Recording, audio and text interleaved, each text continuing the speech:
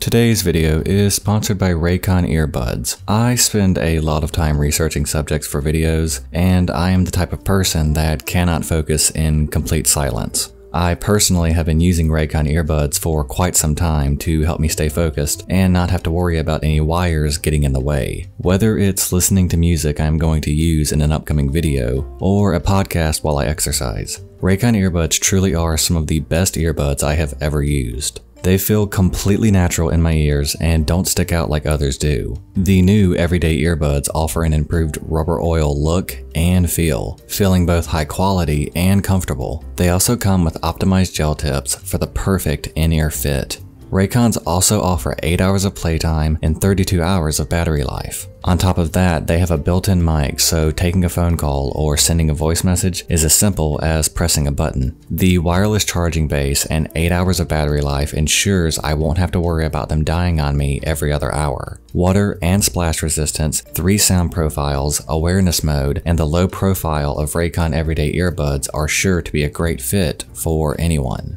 They are also, most importantly, available in different colors carbon black, electric blue, flare red, rose gold, and frost white.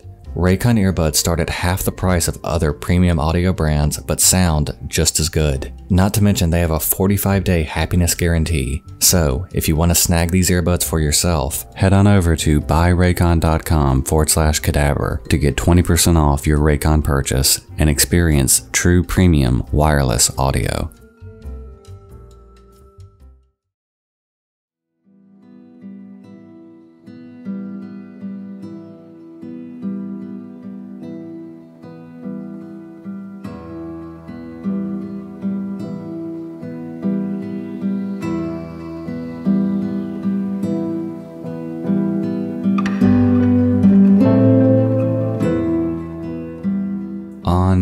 27, 1999, a man by the name of Dale Williams would depart from the auto body shop that he owned to assist someone who called in reporting that they needed their car jump started. As Dale got into his Ford F-250, nobody knew that it would be the final time anyone would ever see him again.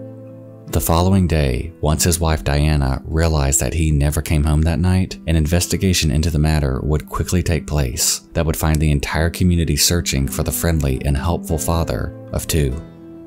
What would unravel would seem like something straight out of a crime novel, as a wrecked truck, a vengeful friend, and a complete lack of any concrete evidence would twist and turn this case until many of the questions that so many had would be left unanswered and remain unsolved for over 20 years. This is the true story of the vanishing of Dale Williams.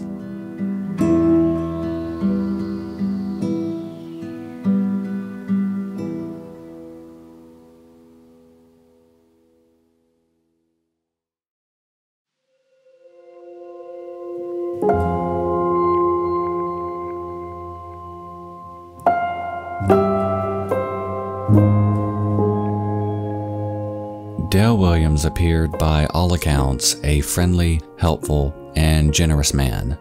The father and husband called Nucla, Colorado home.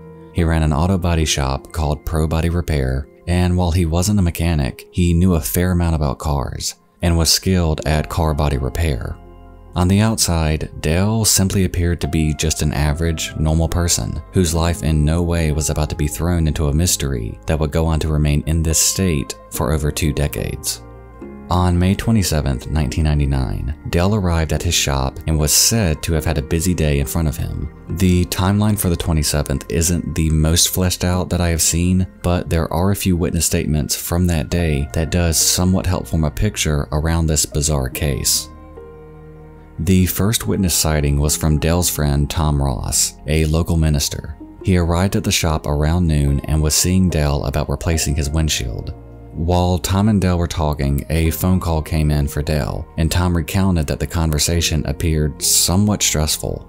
Tom went on to say that from what he could gather, and from Dale's demeanor on the phone, that the person on the other end sounded panicked. Tom would also say that it seemed the person on the other end of the phone was a woman based on how Dale was responding.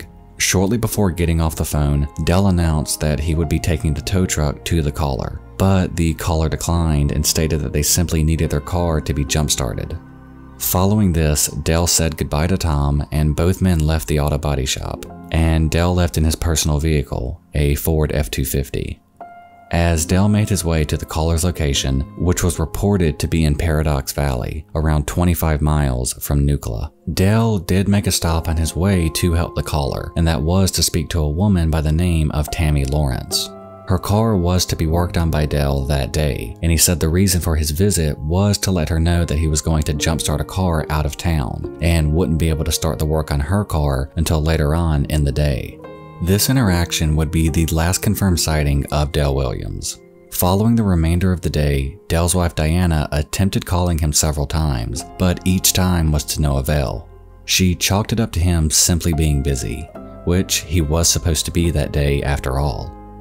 So, a lack of communication wasn't something to be overly worried about. Going into the night, however, Diana's concerns grew for her husband, and while she didn't call the police then, she did have a sleepless night due to her worry. When morning arrived and still no sign of Dale could be found, Diana drove to his shop and found it empty. His tools were there and were left in a way that looked like he was in the middle of working when he suddenly left which would tie up with Tom's version of events that he stopped by there around noon, so Dale would have been working for at least three to four hours upon Tom's arrival. After not seeing any sign of Dale, Diana then went to her mother in law's house to see if he was there or if her mother in law had at least heard from him. When Diana again met with a dead end, she went to a junkyard that Dale visited often, and again, no sign of Dale could be found. By now, worry had grown to full panic.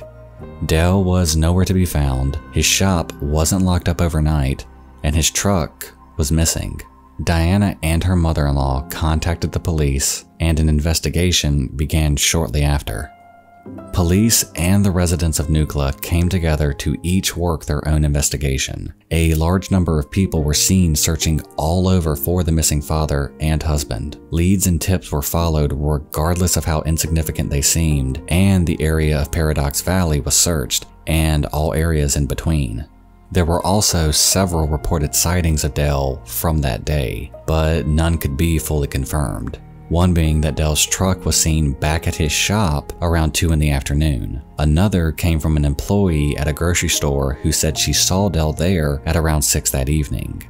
Unfortunately, none of those reported sightings could be proven. For weeks, the investigation into Dale Williams, while thorough, was turning in very few clues, and it seemed that he simply vanished on his way to help the person who called the shop that day. No breaks in the case would happen until a full six weeks after Dale's disappearance, and it would occur on the 4th of July.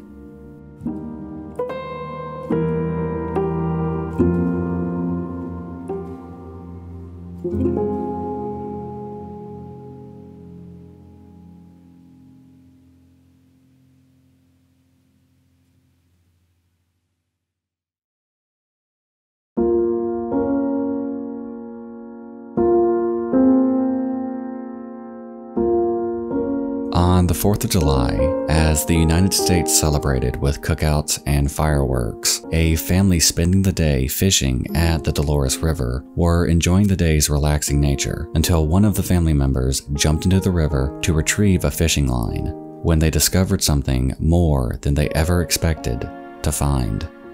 The family had unintentionally found the truck belonging to Dale Williams. Following this explosion in the case, police quickly flooded the scene and were able to get the truck pulled from the river. Thankfully, at least Dale's body was not located in the truck. So yes, they were still dealing with a missing person, but at least there was a possibility he could be alive. The truck was found in around 10 feet of water, and while they were unable to tell how long it had actually been in the river, they were able to determine that the ignition was turned on, the vehicle was in gear, and something that immediately stood out to Diana was the driver's side window. It was reported that Dale always had his window completely down, instead of it just being halfway.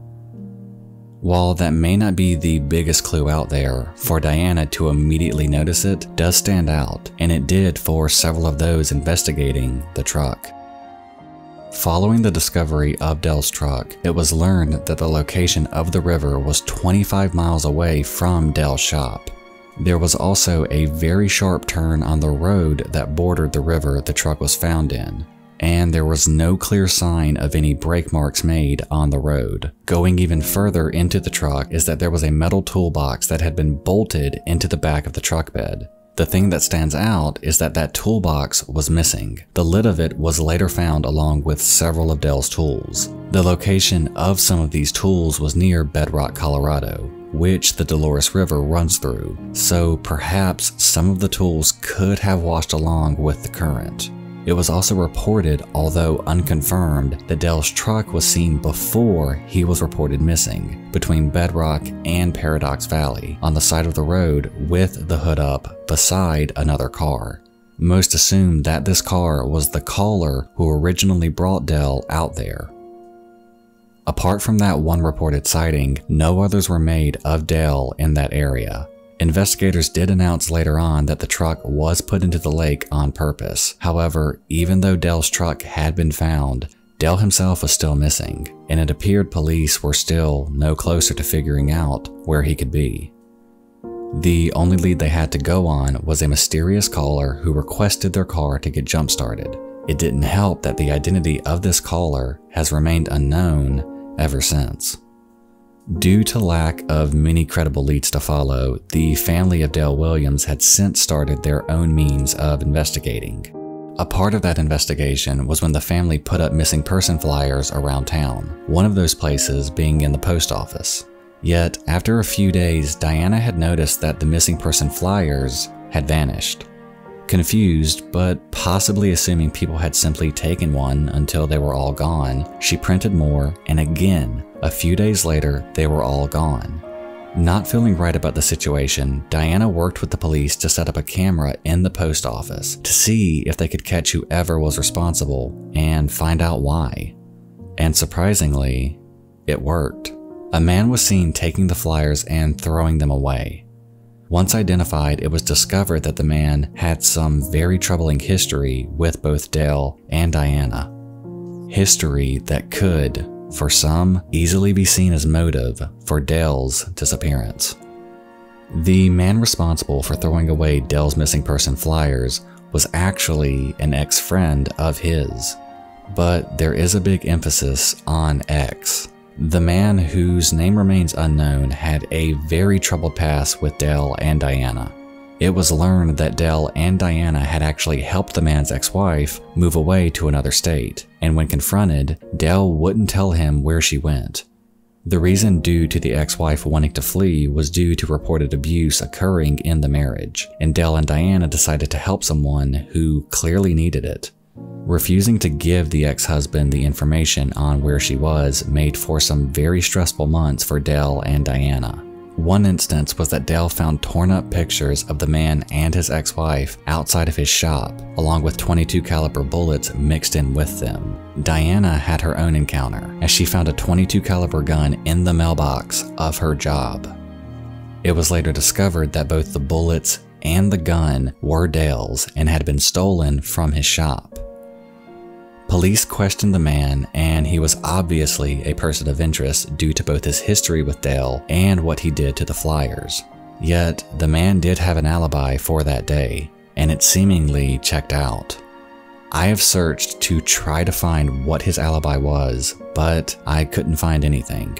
Naturally, this guy looks like a major red flag and an obvious choice for a suspect, but legally he couldn't be charged with a crime as everything was circumstantial, and him throwing away the flyers made him an asshole, sure, but unfortunately, it isn't a crime to be one.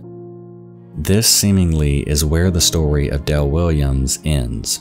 Since the discovery of his truck, there have been no major developments in his case.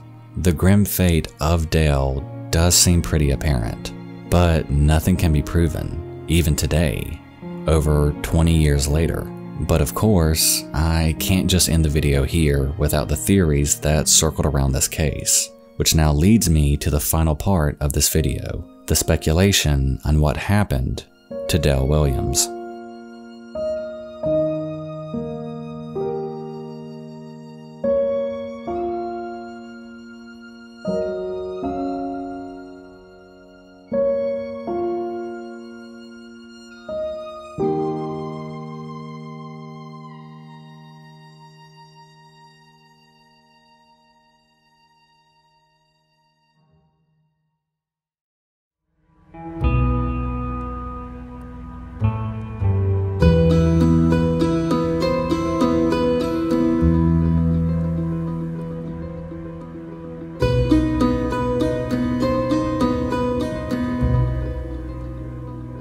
One of the most popular theories, unsurprisingly, revolves around the ex friend of Dale's, who threw away the missing person flyers. The actions of this individual are extremely suspicious, as surely, even if he was innocent, those kinds of actions would no doubt raise a lot of attention his way. Add to the fact that he clearly had the motive to want to see something bad happen to Dale, and for then Dale himself to go missing certainly demands looking into. What we know is that both Dale and Diana helped this man's ex wife flee the state and then refused to give him the information on where she had gone. The shredded pictures and bullets scattered outside of Dale's shop was clearly a threat, and the gun left in the mailbox of Diana's job included her as well. Many believed that this man was directly responsible for Dale's vanishing, and it's not hard to see why. So, you have a person seemingly vanished without a trace, Dale's truck that would later be found 10 feet underwater in a river, and a person who clearly wanted harm to come to Dale. Add these up, and it's not hard to start piecing together, or at the very least, theorizing on what happened. The theory goes that the person who called Dale could have been the same woman who he and Diana helped get out of the state, away from her ex husband. Due to those events, the man forced the woman to call Dale and make up some story, it could have been that she never even mentioned needing her car jumped in the first place, and could have simply been calling to fake that she needed him to help her. It would explain why the caller who was said by Tom Ross, who was there when the phone call took place, sounded panicked, and that it appeared Dale was speaking to a woman. I mean, needing your car jump started isn't anything fun, sure, but to sound panicked over it seems a little dramatic in my opinion. Dale could have simply said she needed to jump as a cover, instead of telling Tom who it really was and why she could have been panicking. And another thing that truly stands out here is Tom Ross would also go on to say in regards to that phone call that the caller didn't sound like they were alone. So the idea that the ex-husband forcing her to make this call while he stood by isn't that hard to picture. Another thing that stands out is Dale stopping by to speak to Tammy Lawrence and letting her know that he was going to help someone who needed their car jumped. Tammy herself went on to say that she found it odd that Dale simply didn't just call her and tell her that. As physically going to see her seemed out of the way. Many people think Dale was doing this to let someone know where he was going, just in case. But why? If this was simply a roadside assistance, why would you let someone know who doesn't even work at the shop? Unless you feared for your safety and were attempting to discreetly let someone know where you were going. Sure, it could be that Tammy's place was on the way to where Dale was going, but still, it's odd that Dale would do any of that. And even more to consider is why even stop to tell Tammy this when someone is waiting for you for mechanical assistance? And with that being the last confirmed sighting of Dale, it makes a lot of those who know this case wonder if the entire phone call was simply a ruse to get Dale out in the middle of nowhere. When you look at what followed, the disappearance, his car being found in a river, a man having motive to harm Dale, and to add even more, is that Dale ran a body shop. He wasn't a wrecker or a mechanic. Leaving to go jump a car off wasn't even part of his job. Maybe, yeah, he was simply being nice and helping someone. But me personally, I feel Dale may have actually known who that caller was and went to help them. Some have asked why didn't he just tell Tom who was right there, and yeah, that is a solid point. But given the circumstances, it could have just been easier for him to say, I am going to help someone jump their car, instead of, hey, a year ago I helped this guy's ex wife leave the state and refused to tell him where she was, and shortly after that, he was cryptically threatening me and my wife, and now she is calling me because she needs help. I don't even feel there is a need to cover any other theory on this matter. Sure, it could be that he left willingly, but why? Why abandon your life where you have a business, a wife, and two kids in a town where people respect and like you. There is also no evidence that points to that being the case, or even a possibility. It's almost obvious, and while I can't say for certain what happened, and I don't want to outright accuse anyone, it's hard not to say that foul play wasn't involved. And it's not even the phone call or the ex husband throwing away the flyers that makes me say this. It's the fact that his car was found in a river weeks later. And still, with no sign of a body, it leads me to believe that his truck was put into the river to remove any evidence, even if it were later to be discovered. The entire story of Dale Williams is not only troubling, but it also comes with a lot of contradicting versions online. I have read through numerous articles on Dale, and I have come across people saying that he willingly ran off, that the phone call made to Dale was from a stolen cell phone, and that the man who removed the flyers had a rock solid alibi. I have even seen a few articles mention two different areas where Dale's truck was found. With this kind of back and forth with information, it makes things very difficult when attempting to offer clear and concise research. So, I decided that if I was going to get the most accurate information, then I would need to contact a much better source. Someone who knew Dale. Someone who could tell me much more than any article online. So, that's exactly what I did.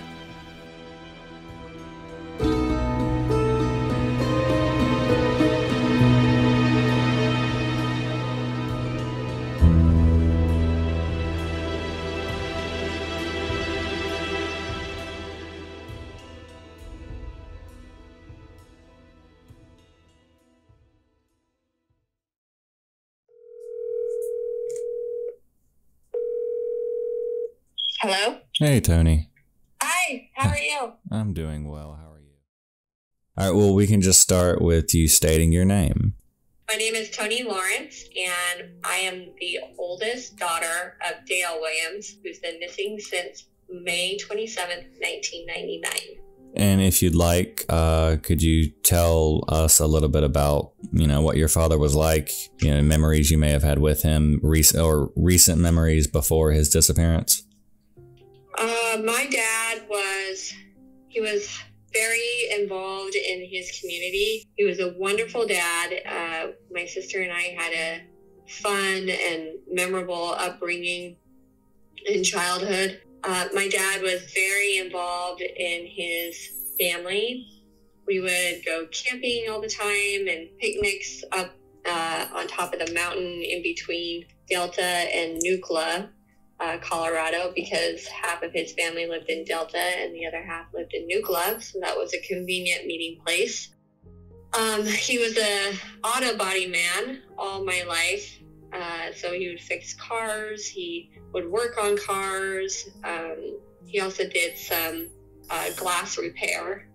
Mm-hmm. Um, he was a he was a fun community member. He would be Santa Claus for the community and, and, kids, and he would decorate our house for Halloween and and uh, pass out candy. He would deliver presents to uh, kids that may not have such a you know great um, Christmas, if not. Um, he was just a really fun individual. He was funny. He was uh, kept. He's one of those people that kind of kept you on your toes all the time. Right. And uh, he, he was just a really great dad. He loved cars. He loved old cars, working on cars, um, anything to do with a car. He was on it. So that's just kind of the person he was. He was also the type of individual that would give his shirt, you know, to somebody in need and, um, you know, always helpful. He would always always go out of his way to help people um, if they ask for it or not. He was very generous individual. All right, and then that seems very appropriate, especially from the things that I've been reading up about him. Um, when it came to the day of his disappearance, obviously you you know you know better than pretty much anybody. Not not only the fact that you it was your father, but just the countless retellings of it and you being directly involved. Um, is there anything about that day to you uh, that stood out as odd, like still to this day, something that just may have been out of character for your father? Well, I wasn't living at home at the time of his disappearance. Mhm. Um, my sister was in high school still, and I was in college. So I lived in Delta, and uh, n- for me, nothing of that day was any different than any other day. How long was it before you found out? Like, eh, did you get a phone call or did one of your family members come see you to tell you what was going on? Yeah, actually, um, I think they, I think I found out that he was missing um, the day, the day after he was missing. I'm, I'm gonna look at a calendar here. I've been, actually been asked that question before. Hmm. So let's see. I don't know what the, like, what the actual day is that he was missing. So the 27th was a Thursday. And okay, so that seems about right because then um, I received a phone call. I was in school. I received a phone call from my roommate at the school, or I had called her to see if she could bring me something, something along those lines. And she had told me that my uncle Tom, who's actually my dad's cousin, Mhm. had um, called her to see if she had heard from my dad or if I had, and that he had been missing. And um, for a day, they weren't able to locate him. And let's see. So I do remember coming home.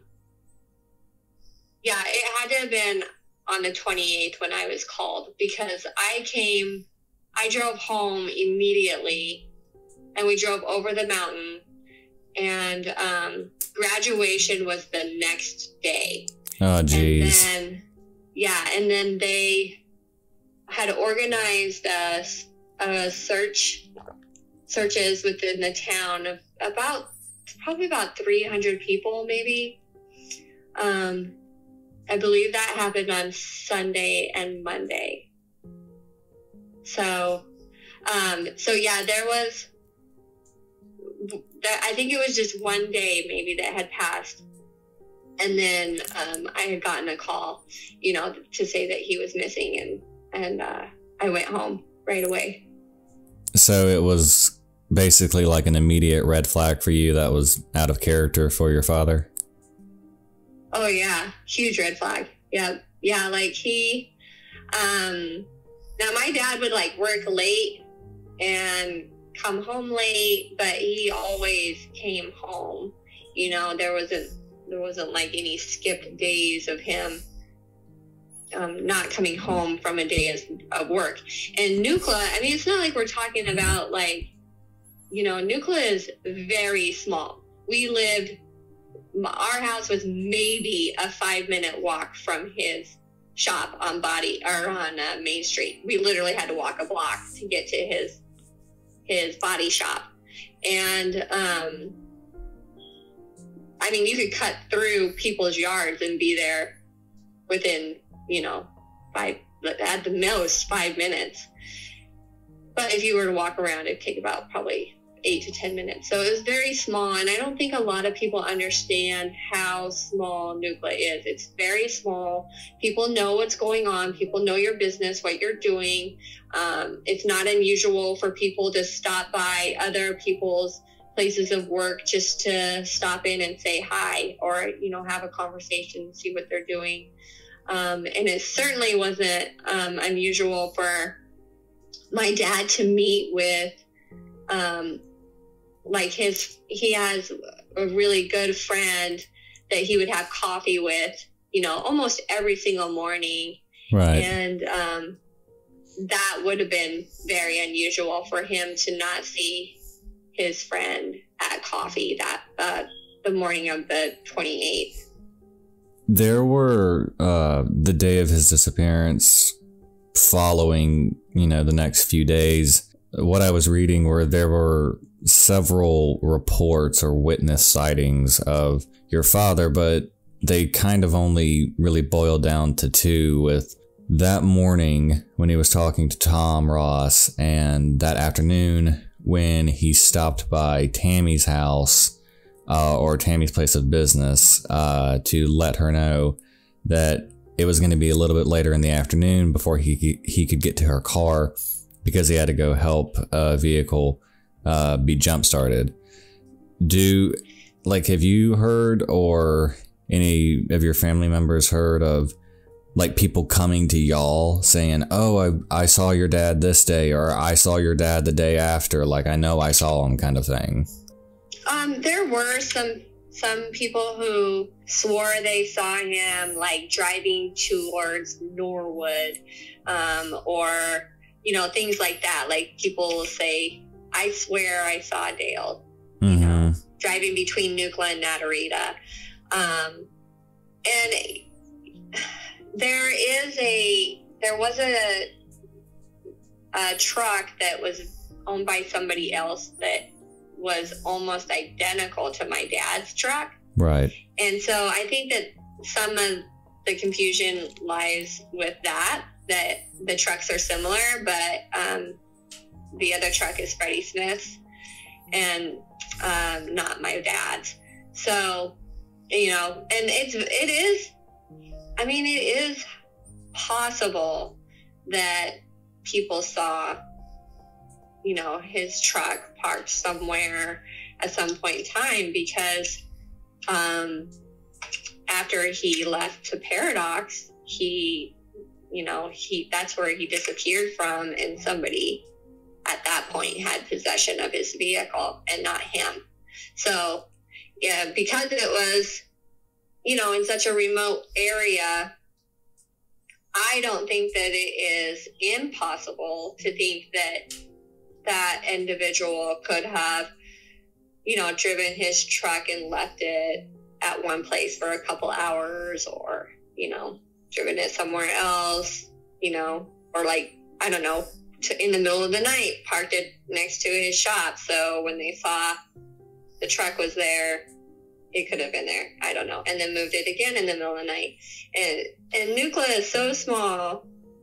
In the middle of the night, you would be lucky to see anybody out there. Maybe a police officer, but probably not. You, you could probably very easily drive down Main Street in Nucla at two o'clock in the morning and be the only car out there. Yeah, that's not uncommon. I grew up in a town where everybody joked and said it was a town that closed at 10 o'clock. Yeah, yeah, that's pretty much kind of how Nucla is. Um, and now it's even smaller. You know, yeah. when when I was in school and my dad was alive, there was probably oh, I would say a good um, twelve hundred to fourteen hundred people, maybe. But um, over the years, it's just dwindled down. There's there's not really a, unless you're a rancher, there's not really any source of income there. How long has it been since you've last been in uh, Nucla? Um, I moved away from Nucla in 2001. Uh, mm-hmm. Is when I moved to Denver. And the last time I went back to Nucla was when my mom's uh, mom, my grandma's funeral was. So that was in, I want to say before 2010. So I haven't been back since. I haven't been back since there. I know I've gone to Montrose, which is just a couple hours from Nucla, but I haven't been back to Nucla since my grandma's funeral. When you were there, were there any you know talks of your father, or was his, was his name still basically talked about? You know, all that time later. Um, no, the, I would say that it was business as usual, mm-hmm. and the only time that really there's any chatter, I guess, is when people pick up that the investigators are coming to town or um, you know, his really good friends will still search the river and, you know, people that, that care about him they'll still search, search the river when it's low or you know keep their eye out for things. And you know it's been 23 years since it disappeared so um i think 23 years man. Um so that that's the only time really that that things will come up or you know some people will reach out to me and say hey have there been any has there been any progress on your dad's case at all? And that's about you know the answer is always no so. Yeah. The investigators will chase leads if they feel like it's a um, a good lead to chase but uh, you know, we've heard we've heard every rumor in the rumor mill, and I could um, imagine. It's just you know people who say, "Oh, I swear I saw a guy that looks just like Dale Williams in Billings, Montana, and you need to go up there and check and blah blah blah blah blah." And it's just like people really need to do some research before they reach out to us um, about this kind those kinds of things to make sure that you know, that's a it's a credible lead because first of all, our invest first of all, if it isn't like a realistic thing, like my dad is not in Billings, Montana. My dad isn't in Cuba. My dad isn't in Mexico. My dad isn't in Jamaica. He's nowhere around there. My dad is dead. My dad is dead and he was murdered. So unless there is a plausible lead uh, towards those specific circumstances, I'm not going to waste my investigators' time with telling them, you know, my my dad is not in Billings, Montana. He's not in Rhode Island either, or New York, or California. You know, he's he's not in any of those places.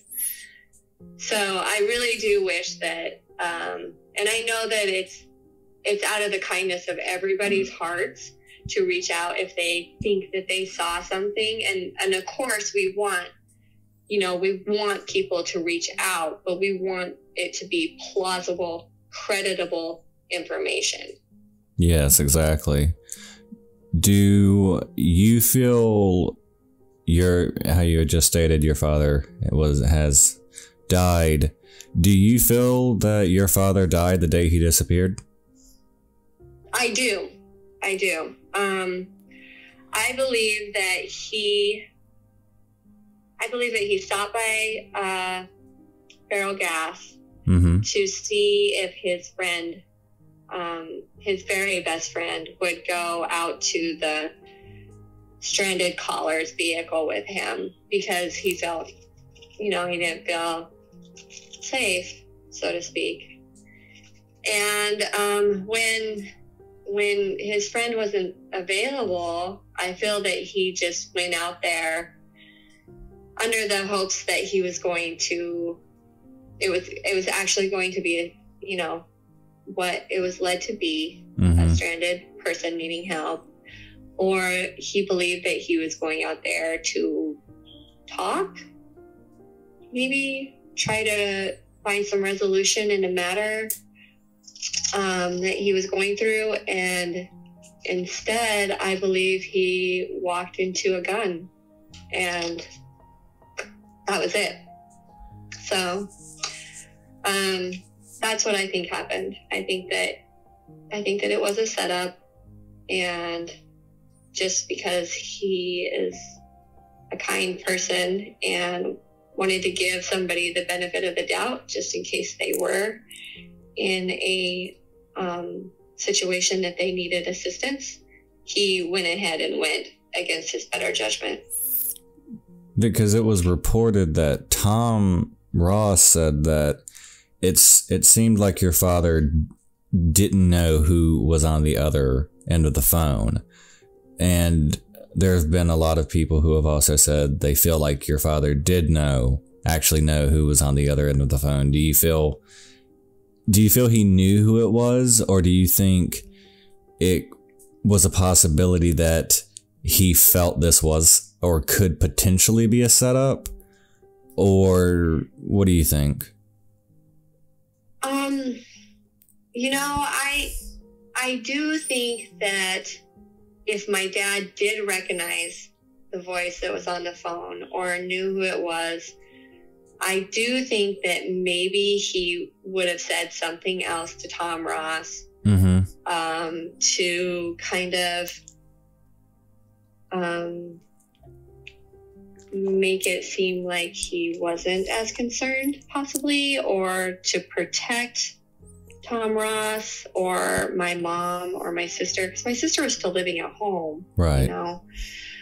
So I think that that is a possibility. I, especially if it was um, concerning certain individuals in the area. Uh, the other possibility, I think, might be that um, that he didn't know this person. But my dad was a pretty keen individual. Um, I mean, anybody calling from Paradox is going to know who my dad is.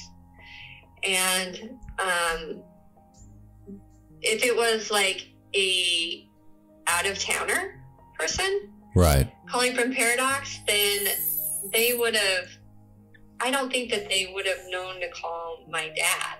You know, um, my dad was a body man. He wasn't a tow service or, um, you know, it, like, you know, he's he was just a nice guy, and he while he did know how to work on transmissions and things like that, he he would go out of his way, you know, leaving his job and whatever it is that he was doing to go help somebody who he thought was truly in need, you know.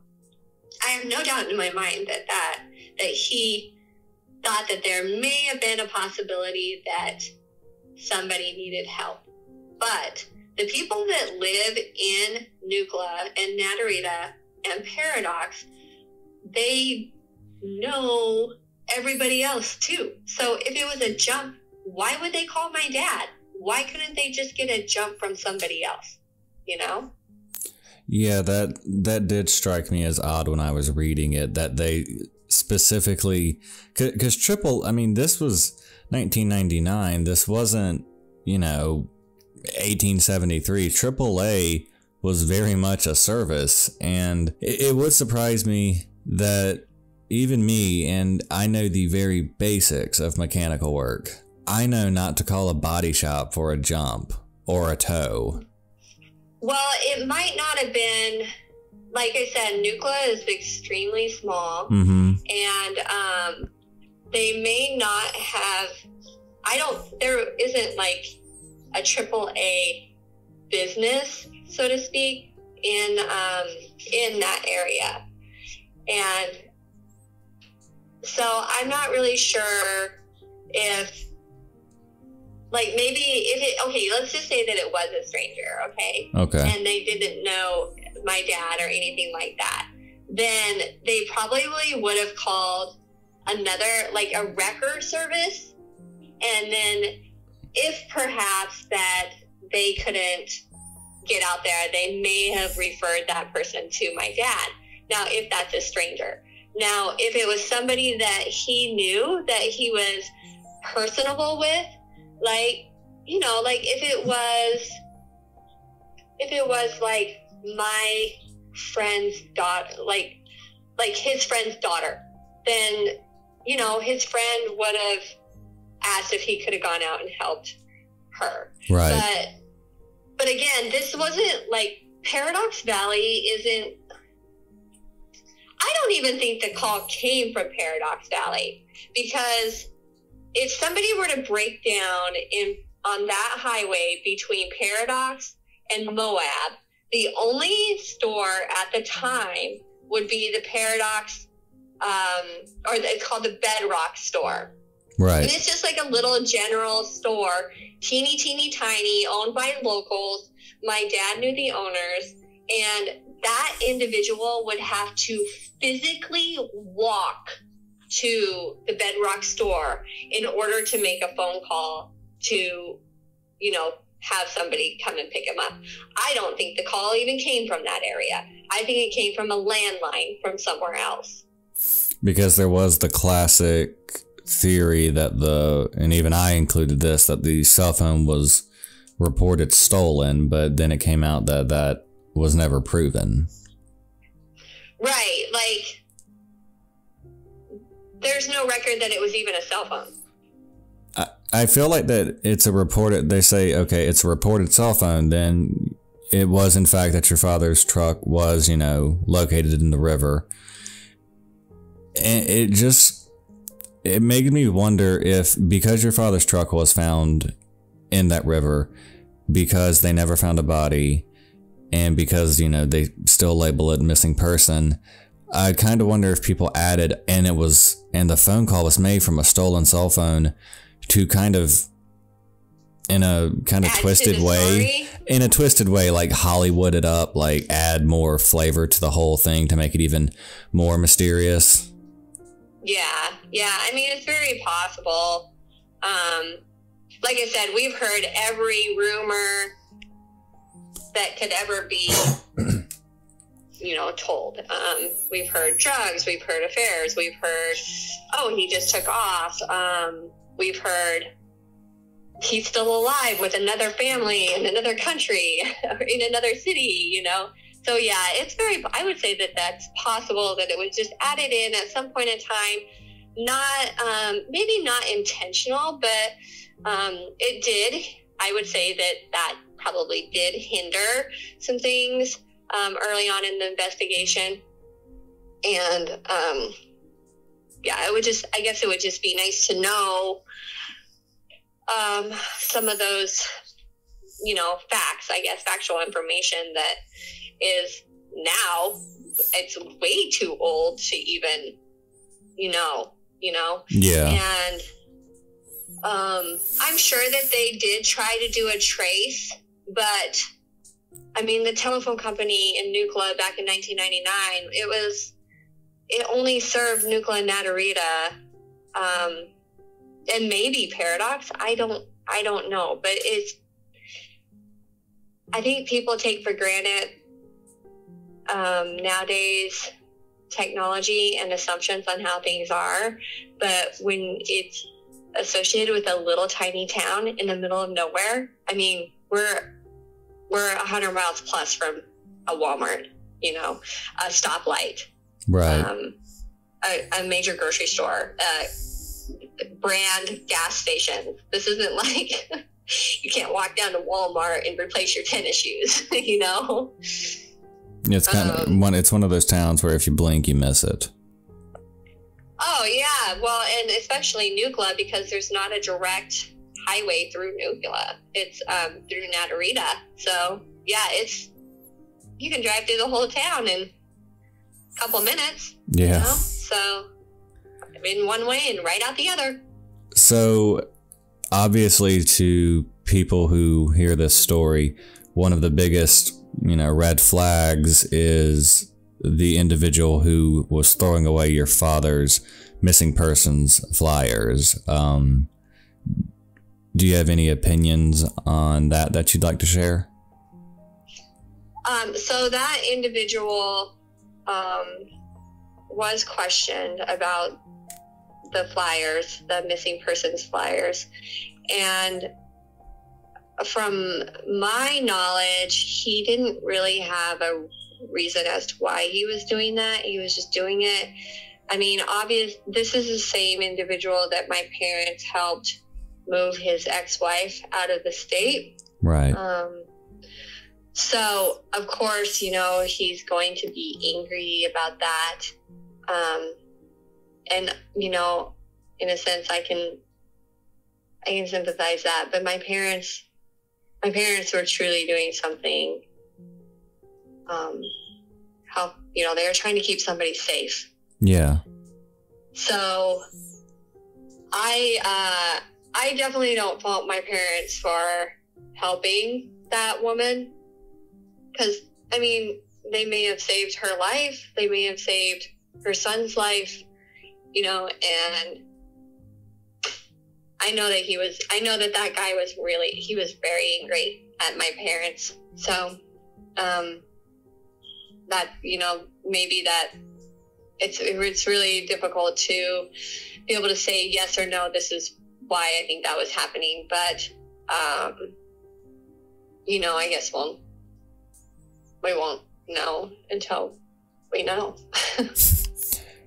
Did you feel like because I know that you're about to have to get back to actually working. Did you have anything else you'd like to add to the end of this? Uh, anything about uh, the website that you run for your father or anything like that? Um, let's see. I, I, you know, if you if you hear something or know something credible, um, please, please reach out to the CBI so we can, you know, put this put this to rest, I guess, and so we can all move on. Um, but yeah, I mean, if anybody knows anything that might help the investigators with their case, uh, please reach out to them.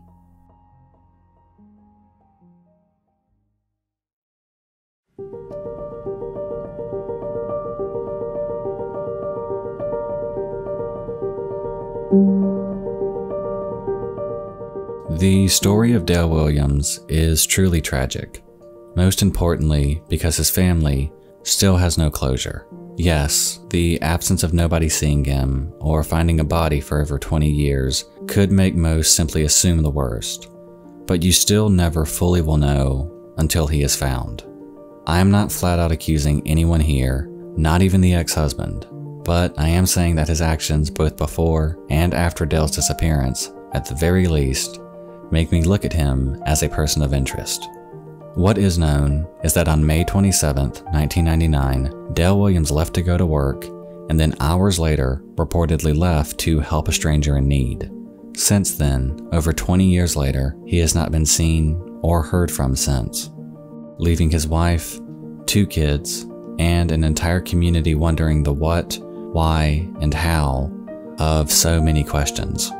If Dale Williams is truly gone, then he should be remembered for his generosity, kindness, and willingness to always lend a helping hand. I want to say a special thank you to Tonee for taking the time to discuss her father's case with me. If you or anyone you know have any information on Dale Williams, I urge you to click the link in the description box below. That will take you directly to Dale Williams' website that Tonee herself runs. Maybe there is someone out there watching this video who knows something that can close this case that has gone unsolved for over 20 years.